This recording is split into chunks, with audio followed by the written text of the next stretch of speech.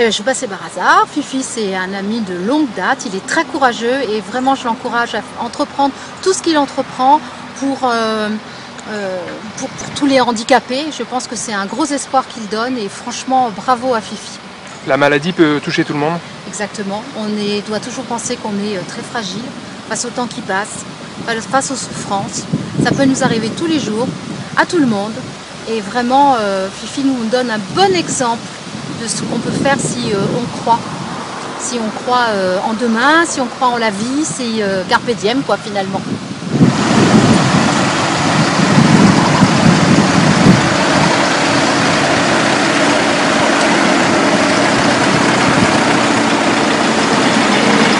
Même si c'est difficile, euh, l'objectif il est noble, comme à chaque fois avec vous.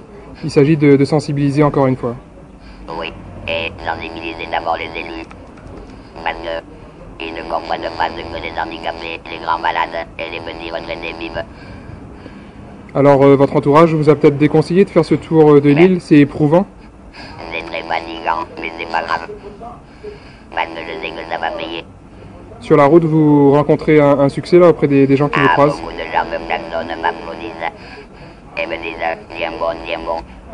Je voudrais euh, un monsieur handicap ou un référent handicap comme ils veulent, qui est issu du DCAS, ce qui ne coûte rien en mairie, et qui aide tous ces gens qui sont dans le désarroi, parce que quand on a, comme moi, qu'on tombe dans le handicap, dans la maladie, en même temps, et qu'on a tous des problèmes à résoudre pour essayer d'avoir un siphonné, c'est une catastrophe. Vous pensez que vous tiendrez le choc là Il vous reste encore euh, une dizaine de jours. Tout est là. Tout est dans la tête. J'avais des nodules dans les poumons. Je les ai enlevés avec ça. On m'a enlevé les dents pour enlever les tumeurs qu'il y avait dans les, les gencives. Il y a deux dents qui repoussent et j'ai 62 ans. Au-delà des mots, il y a aussi les photos qui peuvent euh, donner un message. On a vu votre parcours là ces, ces quelques dernières années.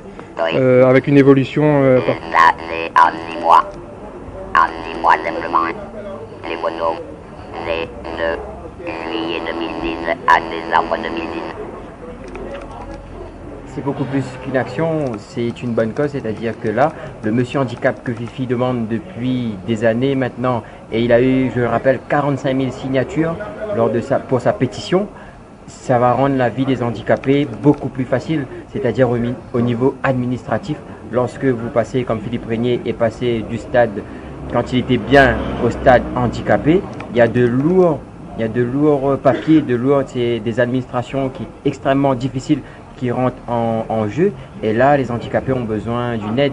Et une personne handicapée, il sait comment faire, il est le plus euh, concerné. le ouais. plus concerné, il est le plus concerné, donc il va pouvoir dire bah tiens, il va falloir faire ça, faire ça, faire ça, parce qu'il a déjà, il est déjà passé dedans.